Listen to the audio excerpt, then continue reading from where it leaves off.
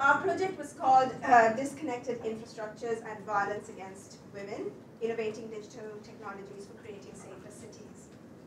And this included uh, an international and interdisciplinary research team from UK and India, including two non-academic partners, most of, most of whom are present here. Um, and it's been in, uh, the, the principal investigator myself is located in King's College, uh, and the co-investigators are located also in King's College and in London School of Economics. And we have one co-investigator who's been uh, located in India. so that's our project team. As you can see, a large number of people, uh, but also a very interesting and exciting group of people who come with different interdisciplinary skills. So that's the first one, that's myself. Uh, then we have Raki's department who's sitting there. Uh, you can raise your hand. Uh, she is a digital innovator. She is our co-investigator in India. She's from Ford School of Management. Then we have Don Slater, who unfortunately can't be here in the morning because he has to sit in an exam board.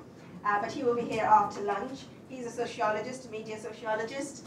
Uh, with him, we have Jo Entwistle, who's from King's College London, who's sitting there. She was also a co-investigator and a sociologist and in media studies. Um, we have Nabila, Nabila, uh, who is our research associate. She is the really the kind of the person who's held the whole team together. She's um, she has been um, doing field work with us. She's been doing a lot of the analysis. So much of what we present, what I present today, has been with Nabila and, and with Nabila taking some of that lead there.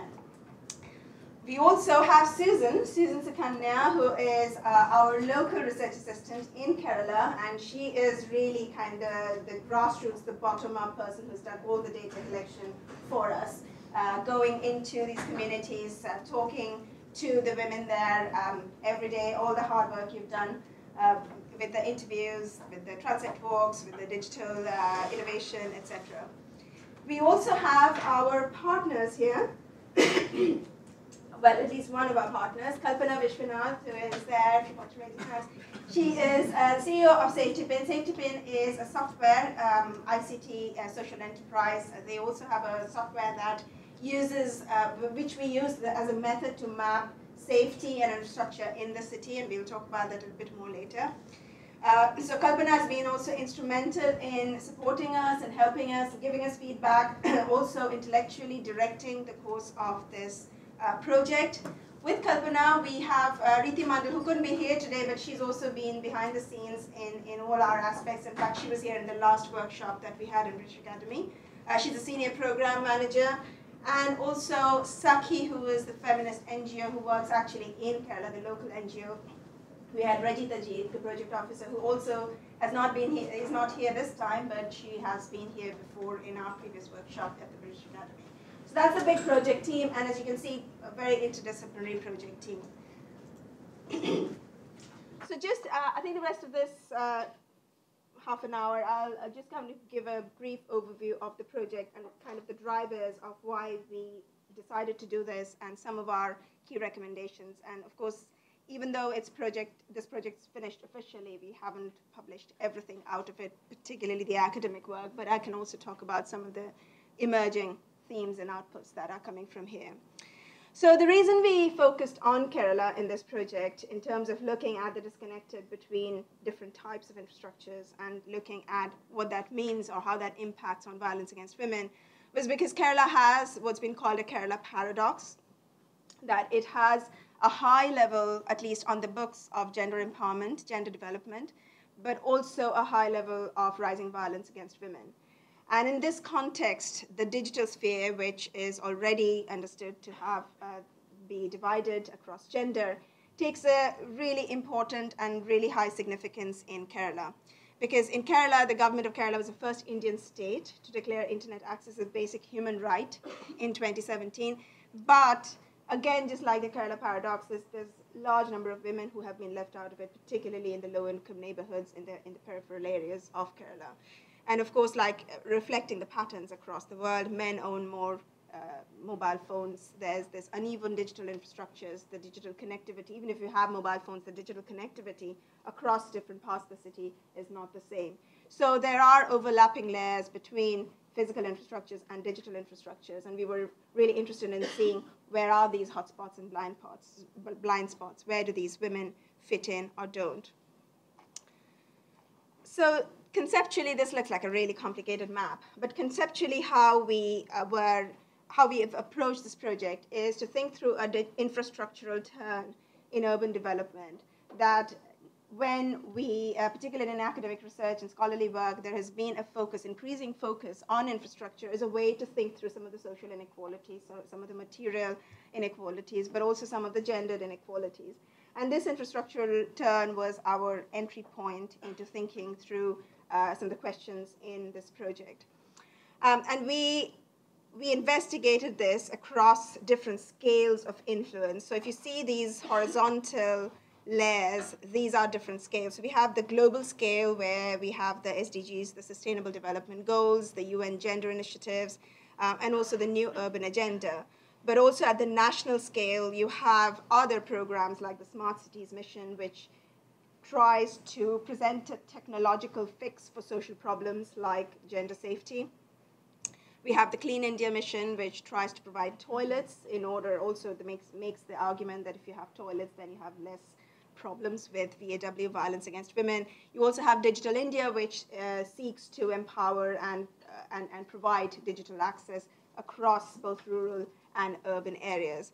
So how do these policies and projects and initiatives impact on other scales, like the local scale of the city uh, and the communities, and of course, the households? Um, so in Kerala um, and of course in India, we have the Nirbhaya Act, which has recently uh, been uh, proposed and, and sa sanctioned. It's, it's amended, amended new laws um, on violence against women. In Kerala, we also have what has been what's been called the pink police, so police patrol cars, particularly focusing on women's safety. But also the main approach towards women, uh, violence against women has been through CCTV and surveillance networks. So increased use of CCTVs, increased use of surveillance cameras, uh, but also proposals from the, uh, from the police, uh, from the municipality for different kinds of safety apps to use, for women to use as a kind of fix for uh, feelings of danger or, feeling, or experiences of violence. So we wanted to focus on the digitally driven urban transformations in um, particularly in marginal areas of the city like the resettlement colonies, the peripheral areas, the low-income neighborhoods. Um, and the way that we conceived it is that this has a, a key role, this, this has a key influence in transforming gender relationships within the house and also vice versa. The gender power relationships within households and communities have an impact on how uh, digital infrastructures are used, accessed, or experienced. So one of the one of the key transformations that we uh, understood in the household was the was the migration into the city when traditional structures, traditional gender power relations were completely transformed. Uh, there was increased entry of women into the public sphere, uh, but these women didn't have, they lacked digital capacity, mobile phones, but also within households, there's been an increased dependence on women's wages because of unemployment amongst men, substance abuse, um, and, and other forms of alcohol abuse, and so on. What it has meant is it's increased time pressures on women's lives. They need to increasingly access employment, access livelihoods, but at the same time, there's been increased male presence within these communities because of unemployment. Um, so even within communities, even within the neighborhoods where these women stay, there is lack of safe spaces. There is increased experiences of domestic violence and violence against women within the public spaces of their neighborhood. So all of this we were we put together as kind of three key issue. One is that there's been at a higher scale, at a city and a national scale, neglect of public infrastructure in all its forms, whether it's water, sanitation, public transport, but also alongside that, there is weak access to digital infrastructure, whether that is because of lack of digital networks, whether that's because of lack of mobile phones, or lack of digital capacity. And then within that also, um, at another scale, there has been weak access to household infrastructure or neighborhood infrastructure. So you have other layers such as erratic water supply, in Kerala particularly with flooding, waterlogging, and drainage problems. Uh, there's little rubbish collection, there is poor telecommunications, um, and no Wi-Fi broadband. So most of these communities and uh, households access Wi-Fi and broadband through their mobile telephones. So the mobile telephony is the route to accessing the internet and all sorts of information in the public sphere. So we club all of this together as different forms of violence against women. So violence against women is not necessarily men coming and doing um, harassing women in the public space, although that is one form. But violence is structural, it's cultural, it's symbolic, and, and, it's, and it's various forms through infrastructure, through and with infrastructure. Um, and one of the key uh, aims of this project, because it is GCRF funded money, is that we were making contributions uh, or challenging some of the SDGs, the Sustainable Development Goals, and we were particularly focusing on two SDGs, the SDG 5, gender equality, and SDG 11, sustainable cities and communities. Within these two, uh, I think our project revealed two particular targets as problematic or, or targets that we could make contributions to um, in terms of challenging some of the assumptions within that. First was target 5.1 B.1, where it says that an indicator of gender equality is the proportion of individuals who own a mobile telephone by sex, which means that the larger number of women who own a mobile phone means there is an there's an increased gender equality in that context. Uh, but of course, our findings found that just, just owning a mobile phone itself is very complicated because you might not formally own a mobile phone, you might borrow it. But also that just owning a mobile phone doesn't necessarily give you gender equality, and that's one of the key things, and we have several narratives and, and, uh, and discussions around that. The other target that we particularly, uh, particularly came into focus when we were doing our research was target 11.2, that by 2030, providing access to safe, affordable, accessible, and sustainable transport systems for all improving road safety, notably by expanding public transport, special attention to needs of those in vulnerable situations. So this particular target is about improving uh, access to infrastructure. Uh, so uh, improving the infrastructure first and then improving access to it. And again, we found that just improving access to infrastructure doesn't necessarily mean that infrastructure will be used or that it will remove violence per se. Okay, so um, actually now I just wanted to show the, some of our research methods which we use. And this is a story map that we created, and we can give you the link. We, we thought that there was going to be a laptop here which people can just go into and check the story map out, but it's not there, so we can provide you the link. Um, so our research methods were again at different scales. So the first scale, we used the Safetipin apps method, the citywide scale. Um, and the Safetipin apps audit method I don't know why this doesn't increase. Can you, is it cut off? No. In my computer, it's cut off. Um, so the city-wide scale, we did a Safetipin app uh, audit. And in this, uh, and Kalpana can talk about this in more depth uh, when she presents her paper. Uh, in this, basically, uh, a taxi goes around with a camera on its front, and it takes pictures of the, of the city, of all the roads in the city. And then these pictures are coded across nine parameters, and most of these parameters are infrastructure parameters, and then given a safety score. So at a city scale, you get a clear indication of what is the state of the infrastructure in, in that particular place. But also it's relational, so it's, it's not so much about absolute points and scores, it's also comparing between the two cities in terms of thinking through uh, what are the reasons why there might be differences in these scores. Then at, um, at a neighborhood scale, we used the Safetipin app and um, we did transect walks with, the, with our participants. And alongside these transect walks, we taught them, we, we were like enhancing digital capacity, training them how to use the Safetipin app to do manual audits. Um, and so this is a picture of one of our um, partners, uh, Rajita from Sakhi, walking around with the participants, showing them how to use this app. And, and the women themselves, it's, it's a kind of form of crowdsourcing information about safety. So women themselves then input information about the different, the nine different parameters uh, around infrastructure and feelings of safety. And alongside this transect walk, we also have an interview narrative. So while women are walking and, and inputting their data, they're also talking about how those places are, their experiences in these places, what they encountered, um, and why they might or might not think about these places as safe or unsafe. Then at a household scale, uh, we did this conventional ethnography and semi-structured interviews. Uh, a large part of these were done by uh, Susan, who's sitting here. So we did in-depth interviews, but we also did mental maps. So while the safety audit using the software was literally geotagging places and give, providing narratives in those places, but the mental maps were far more subjective, they're far more cultural, and these was when women were actually drawing out maps of the places in the neighborhood and the city where they go to and talk about why these were important or not important or significant for them. So these were our participants. They were young to middle-aged women living, and this is particularly, I'm talking about uh, Trivandrum. Nabila will present her work later on Kochi. These were the two cities we looked at. Um, these were young to middle-aged women living in this particular colony, and this colony was uh, a resettlement site from a slum uh, neighborhood uh, way back uh, in the 1980s when women were brought there. So we spoke with about uh, 16 women who were aged between 25 and 60 years, and they were both engaged in waged and unwaged labor. Most of them were married, some were separated, divorced, or widowed.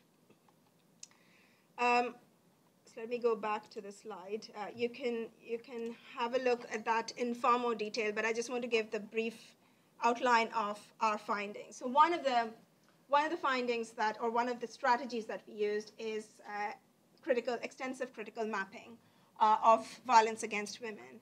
Um, and while we were doing that, particularly through the transect walks and the interviews, what came across is the sense of intimate infrastructures that infrastructural um, gap or infrastructural absence or disconnectedness is not only a form of violence, but it's also very intimately felt. It, all, it is also felt as a form of intimate violence. And this came across because in, in some of our community participatory workshops, which we ran alongside these interviews, we asked women what were the main things to focus on. And the women invariably replied, we want you to focus on sorting out drainage or sorting out waste or sorting out public transport. Um, and that was counterintuitive for us because given the high incidences of domestic violence and violence against women, we were expecting them to ask us to address those issues rather than infrastructural issues. Um, and what we understood from talking to them further was that those without access to urban infrastructure see infrastructural failure as a form of intimate violence.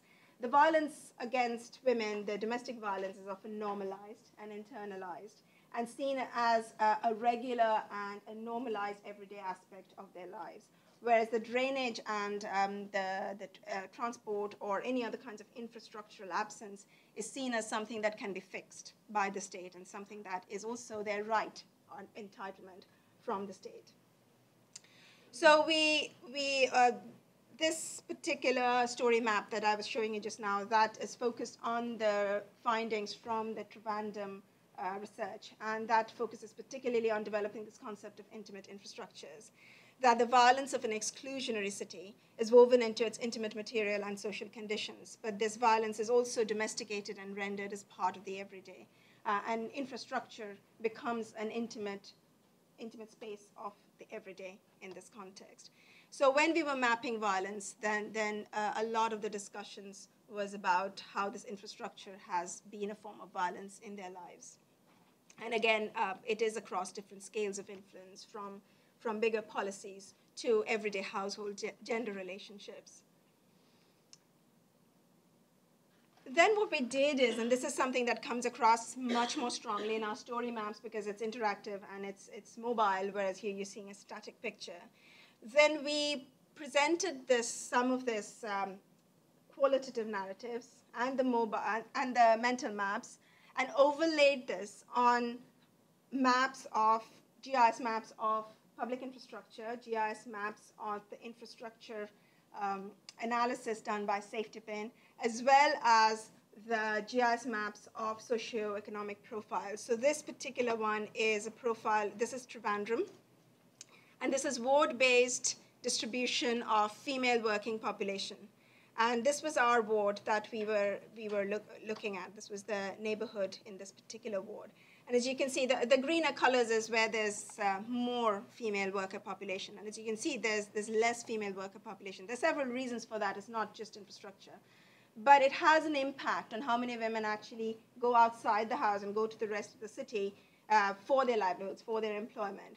Um, and, and a large part of that was to do with, first of all, the, the poor access to infrastructure, but also because the, the gender power relationships in the house was such that it was difficult for these women to actually go outside the house and, and access employment anywhere outside. So many of these women were also um, stuck in the neighborhood and, and working in and around the neighborhood. There wasn't really narratives of going very far out across into the city.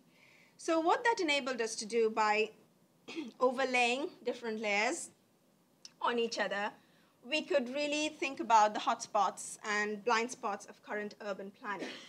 Um, and by layering socioeconomic profiles and layering public infrastructure, layering safety maps, as well as layering, so this is a screenshot from our story map, layering some of the narratives, the qualitative narratives on top of the GIS, we, we argue that we are able to reveal through critical mapping a form of slow violence, and this is something that uh, Nixon's argued about uh, in a very different context, in the context of environmental toxicity and degradation.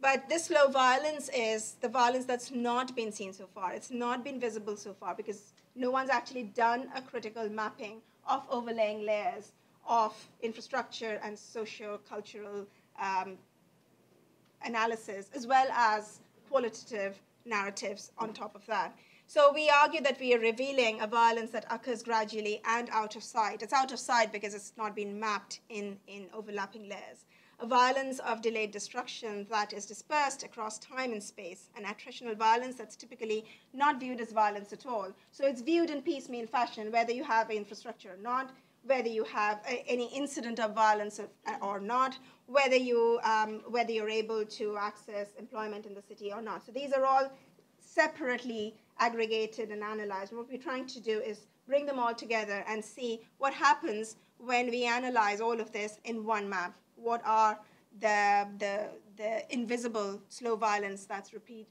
that's revealed to us that we've not seen before, and that's been happening over a long period of time. And one, um, this is a very um, banal example. One of the things that's been proposed by the Trivandrum uh, Authority is the She Corridor. So this is the green line here, and this She Corridor is part of their Smart City initiative, where they have this technological fix to addressing violence against women. And so this is the street that's got increased Wi-Fi, it's got lots of CCTV cameras, there's increased pink police there, and so on and so forth. But actually, when you map the narratives across the city, where, where all the women have experienced different forms of violence, you see it is really, um, it's really actually pointless to have a she corridor when the violence and its connections with infrastructure is so uh, so widespread across the city. And these are the kinds of maps that we um, have we have argued that could be useful for uh, the, the town planning board or the urban planning of the city, where maps become a way of communicating issues and problems that's not been looked at before. And then finally, the last point I want to make, and something that um, Raki will pick up later on, is the the key intention of our project was to innovate on digital technologies to see what are the ways that women could be able to bridge the digital divide, but also that it would empower them in a different way to think of becoming equal participants in the city, becoming equal urban citizens. So we wanted to go beyond the smart safety apps because smart safety apps is one way of crowdsourcing and one way of reporting incidents of violence against women. But there is much more to violence against women than just reporting. Um, and we wanted to think about this again as a continuum, again as temporal, spatiotemporal, um, and how uh, in our project, when we were talking to the women, we found that it's not only lack of access, it's not only uh, lack of network or broadband uh, or lack of smartphones, it was also because the lack of capacity made the digital phone sometimes um, scary. It made them um, it, it, it created a mental block in which women weren't really keen to use the mobile phone itself.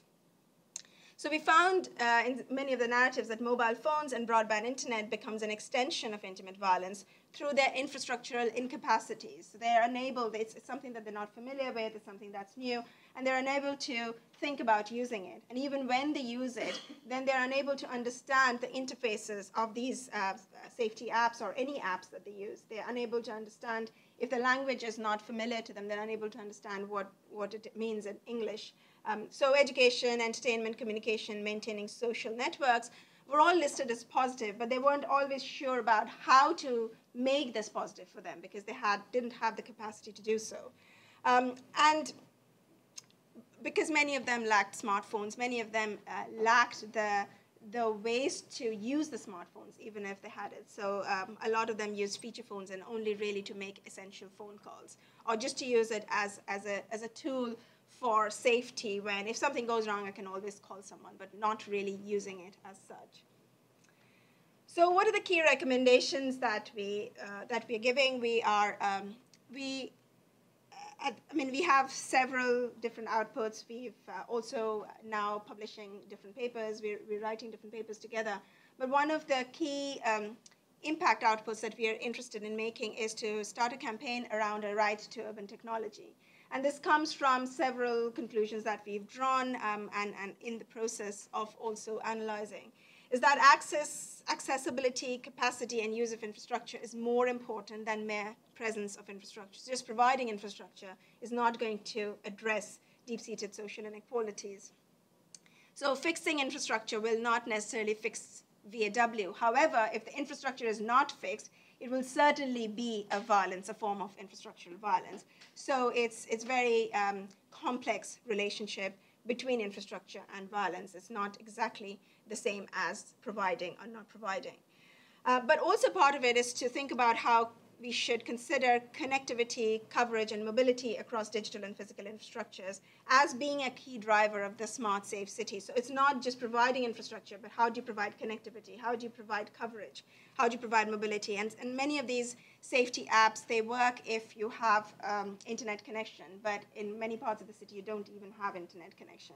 So some of these issues with connectivity and coverage became very key in our work. Um, also, how to consider temporality and not just the geography of connections, access, and visibility of women. How is violence itself temporal? It, it changes across the day, it changes across seasons, it changes across women's life cycles as well about who these women are. So we also, of course, again, a right to urban technology is addressing increasing gender disparity in mobile phone usage, access, and digital capacity between social groups. And this is something that we focused on a lot in our, uh, in our project and that we should do innovations in coverage, speed, and locationality of mobile infrastructures that should be directed towards both basic feature phones and smartphones. And at the moment, it's, it's directed mainly towards smartphones because the apps are all smartphone based. Uh, and we realize that many of these women use feature phones which don't have any of these um, features. So I just want to end with some of the things that we've been doing, and particularly the kind of non-academic impacts and innovation work and, uh, that we have been working on.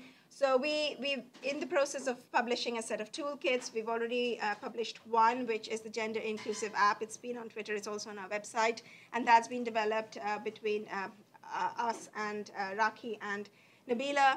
Uh, they've been key in producing this together. It's, it's really to look at what a gender inclusive app might look like um, whether we need to have more icons than text, whether we need to have different sorts of colors, uh, what kinds of language they should have, and so on and so forth. Our story maps have been key again in disseminating some of our findings and research work. And again, I, as I said, you can go on the on our website and, and access them. And at the moment now, finally, we're, we're looking at creating a gender-sensitive design toolkit. Um, and that's again with um, uh, support and partnership with Safetipin because they have a lot of uh, information around the urban planning and the infrastructure elements of the city and how to incorporate that into a guideline for gender safe, gender sensitive design. We've done a number of capacity building work with our project participants in Kochi and Trivandrum particularly, like I suggested, our methodology has also been part of our impact work because our methodology of safety audits has also been about digital capacity training and introducing these women and, and making it very clear to them that the smartphone is not something to be scared of. Um, but also part of this has been our petition drafting. We've done two sets of petition drafting with the women in Kochi and in Trivandrum, and it's been mainly around drainage because it was around the flooding, uh, Kerala floods. Uh, and this is a picture that we've just been sent recently by Sakhi, our local NGO, where the women, uh, we, we helped the women draft this petition around drainage. And they took this petition, they handed it to the mayor, um, and he accepted it, and he said he was going to do something about it. We're still waiting. But at least they found the confidence and they know what the process is to draft a petition and, and approach the authorities.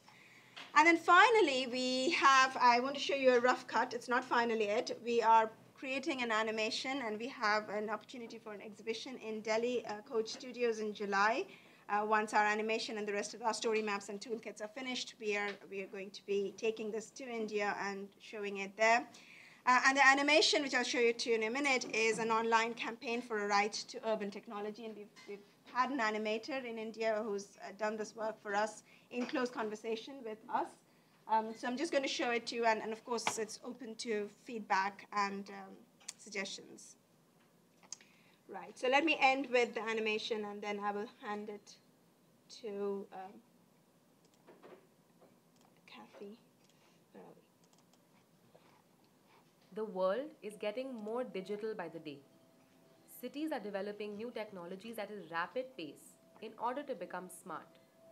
This means the city's functioning will be heading towards more online services and facilities. But there still exists a deep digital divide. Those without access to digital technology face exclusion from what the city can offer, denying them the right to their city.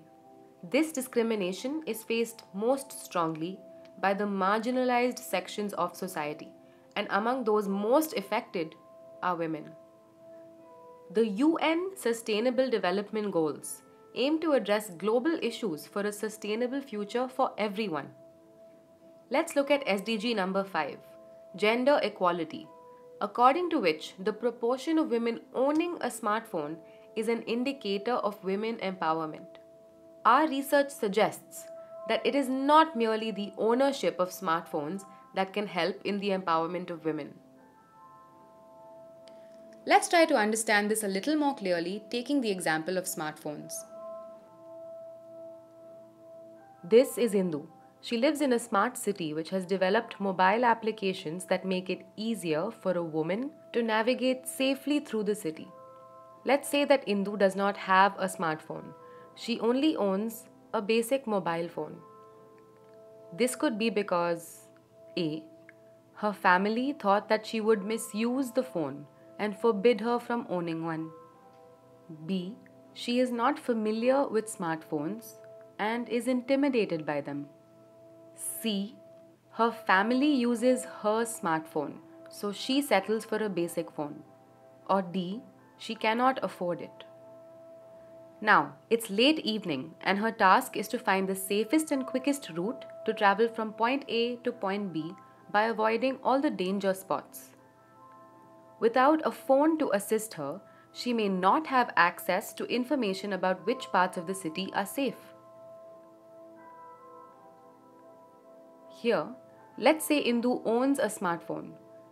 But owning a phone does not mean she has the knowledge of what all the device can do. What use is the phone to her if she does not know how to use it in times of need? She is back in the same tough position as before. Here, Indu has a smartphone and she knows how to use a safety app and call for help. But there is still a problem. This time, it is the network. Indu does not have the range required for the app to work. Through no fault of hers, she is left helpless and is still as unsafe as ever. By now, it is quite clear that just by owning a smartphone, one cannot assume digital empowerment. There is a lot more to it than that. It requires the right to urban technology. This is about accessing technology and being able to use it meaningfully. It includes the right to accessible and free internet, the right to legible and gender friendly apps, and the right to contribute information about the city. Ensuring this right enables a pathway to empowerment, bringing us back to the crux of this exercise. Enabling this right to urban technology is crucial for exercising a gendered right to the city and should go into the policy making of every smart city.